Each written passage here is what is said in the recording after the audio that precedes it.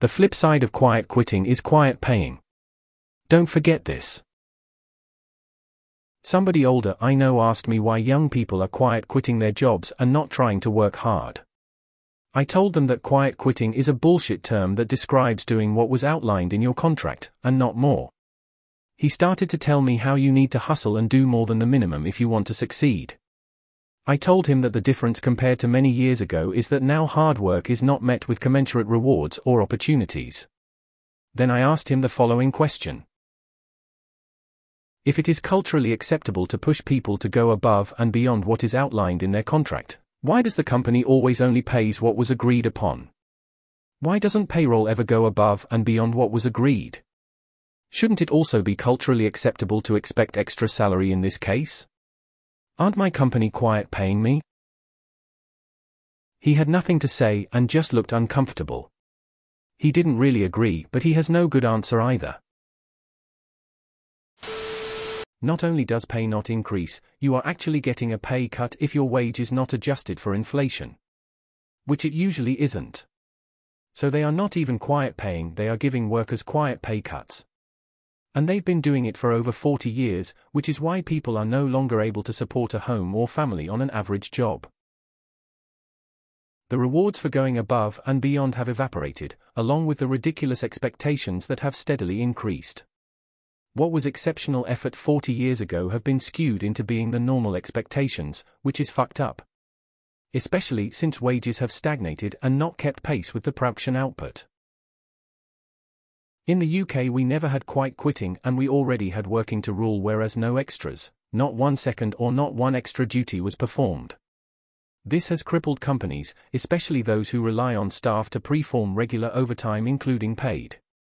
Let's face it, it's not quitting if you do exactly what is written in your contract. My half percent pay raise during 8 inflation quiet underpaying me by 7.5. The harder I work and the more miracles I pull off at work, the more upper management assumes I'm too useful to be paid well. They hire externally to fill vacant positions further up.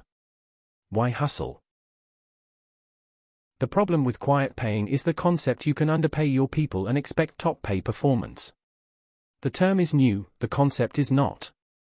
You want top performance compensate your employees for it. It was at this moment this guy knew. He f-ed up. Wow, that's a good way to put that. Never occurred to me to outline the situation in those terms.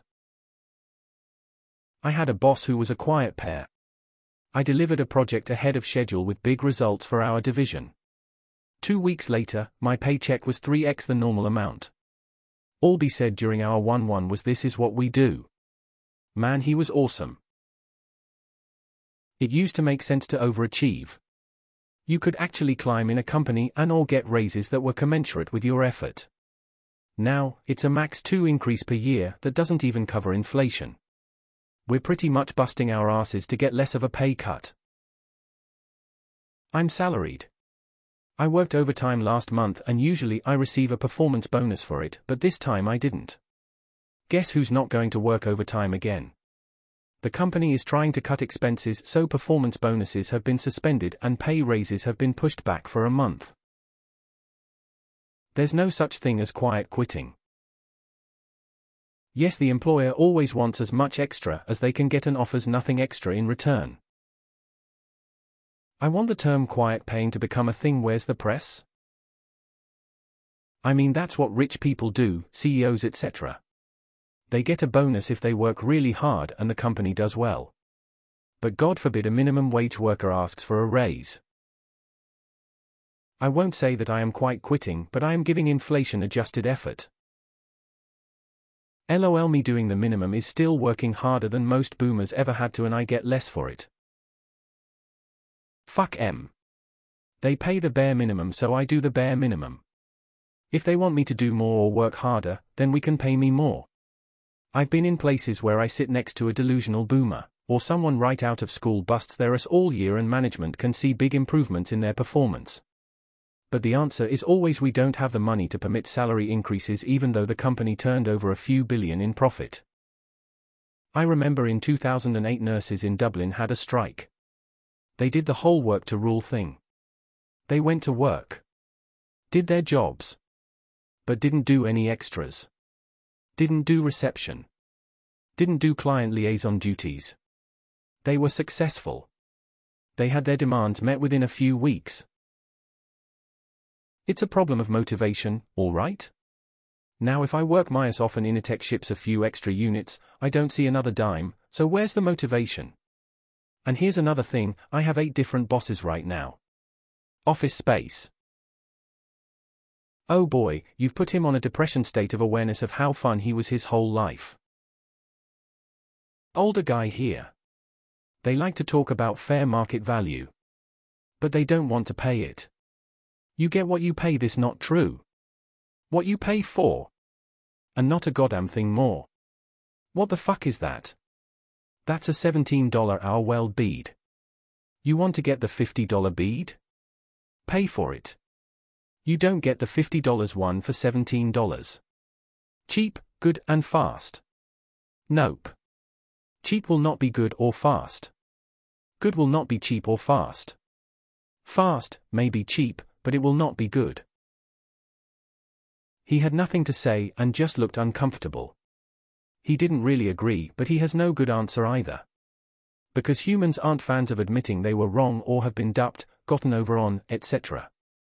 This provide free labor, without extra pay, so you might, just might, get promoted at some future date and time is so much a raw, one-sided, deal. The youth of our society has called BS and are refusing to participate in this lopsided deal. Good on them. There was a startup company in the US that paid their employees in Bitcoin when Bitcoin was low. Then Bitcoin went high, and the company asked their employees to give back their Bitcoins. I think it went before some attorneys, and it was deemed that no employee had to get back their Bitcoin. Because the company wouldn't agree to those terms. Heck, they are the ones that suggested HIT. Even if you believe in hustling, you should be smart about it. Any competent hustler knows what their boss cares about and focuses on those metrics. You ain't hustling if you're working hard at the parts of your job your boss doesn't care about. Just working hard for the sake of work is the antithesis to hustling. I do not accept more from my workplace than me doing my job and they paying what was agreed upon. That's it. After 8 hours plus lunchtime I turn my PC off and don't think about my work again until 8.59. This is the exact same thing as the old-time term work to rule it's a union term. That is a good point. Back in the old realm the extra hustle got the promotions, mentorship, bonus and raises. Then the MBAs realized they could drop the payment side and still get the same results. Now that the employees have wizened up, they want to give employees the scarlet letter. While the employers are the ones that did it to begin with.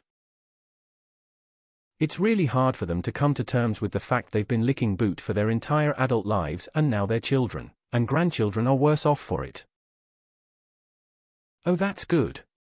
When people say quiet quitting, I like to correct them to meeting expectations and performing at 100 efficiency because that's what it is. Any more would be exceeding expectations and thus deserves to be incentivized. He started to tell me how you need to hustle and do more than the minimum if you want to succeed. Nah, just hop for another raise every two years. Because he's been propagandized his entire life to only view things through the lens of an owner who has no other option than to pursue profit at all costs. The second you acknowledge that actually, no, owners aren't required to do this. Or when you point out workers who do this are viewed as greedy or lazy, they get cognitive dissonance and need time to process. When people abide by the rules and culture that the owner has, the owning class loses their mind over it. I'll add on to this conversation.